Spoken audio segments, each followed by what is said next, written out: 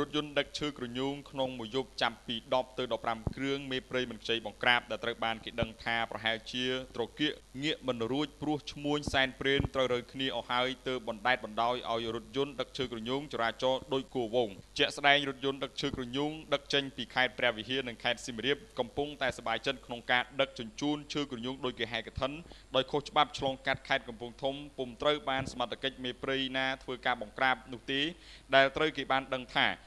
ឈ្មួញបានទិញមេព្រៃជើងខ្លាំងអស់ហើយនៅពេលយប់គឺមានតែមនុស្សដាក់ភ្លើងចាំមុខផ្នែករដ្ឋបាលព្រៃឈើស្ទូងចាំរាប់ក្បាលឡានតែប៉ុណ្ណោះចំណែកឯរថយន្តដែលត្រូវបានដឹកឈើក្រញូងគឺបានផ្ដល់ដំណឹងអំពីរថយន្តរបស់គេមុនពេលដែលទៅដល់គោលដៅដែលមន្ត្រីសមត្ថកិច្ចអង្គុយចាំរាប់ក្បាលឡានប្រភពព័ត៌មានពីមន្ត្រីប្រចាំការម្នាក់ជាមួយនឹងមេព្រៃបានឲ្យដឹងថារថយន្តដឹកឈើក្រញូងបានធ្វើចរាចរណ៍លើកំណត់ផ្លូវជាតិលេខ6បើសិនជាមានបញ្ជាពីផ្នែករដ្ឋបាលព្រៃឈើស្ទូងលោកនឹងបង្ក្រាបភ្លាមតែលោកមិនអាចធ្វើអ្វីតាមទំនឹងចិត្តដោយគ្មានការបញ្ជានោះទេនៅពេលដែលចេញបង្ក្រាបម្ដងម្ដងលុះត្រាតែមានបញ្ជាពីថ្នាក់ដឹកនាំបើមិនដូច្នេះទេនឹងត្រូវប៉ះចំរថយន្តរបស់ក្រមលោកមេមេនឹងត្រូវបានប្រមានជាក់ជាមិនខានឡើយប្រជាពលរដ្ឋបានរិះគន់យ៉ាងចាស់ដៃចំពោះនាយផ្នែករដ្ឋបាលព្រៃឈើស្ទូងដែលធ្លាប់តែមានស្នាដៃបង្ក្រាបបទល្មើសរថយន្តដឹកឈើក្រញូងឆ្លងកាត់ខេត្តកំពង់ធំតែមកដល់ពេលនេះបែរជាបណ្តែតបណ្ដោយឲ្យរថយន្តដឹកឈើជាហោហែទៅវិញទៅមករួមទាំងមិនព្រមបញ្ចេញស្នាដៃតតែសោះបង្ក្រាបបទល្មើសនោះទេ